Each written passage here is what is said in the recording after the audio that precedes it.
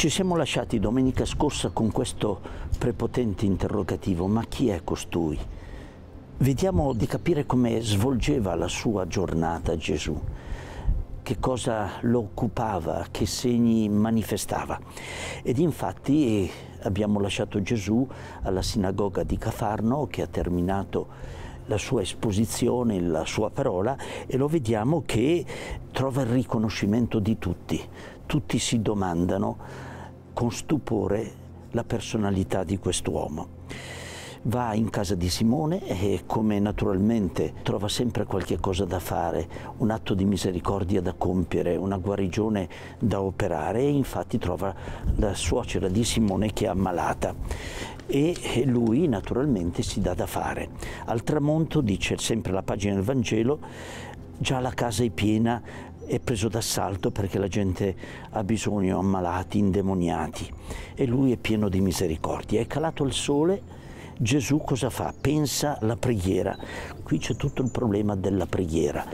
Non è solamente una recita di formule, ma è questo colloquio appassionato con il Padre e da lui riceve le indicazioni, ma soprattutto vive di questo rapporto consumato nell'amore con il Padre vuole dare spazio a qualche cosa che lo costituisce. Noi lo vediamo che è l'annuncio di una verità totale sull'uomo e l'unica vera novità su cui la storia si deve misurare, ma anche c'è un aspetto di liberazione.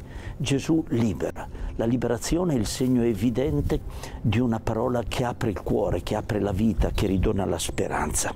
Scaccia i demoni, perché i demoni ci sono il maligno, che è il principe di questo mondo, continuamente dà battaglia a Gesù. È inutile eluderlo perché è pieno il Vangelo di questo rimando al principe di questo mondo. Tanto è vero che San Giovanni dice testualmente figliuoli nessuno vi inganni, chi commette il peccato viene dal demonio perché da principio lui è il nemico.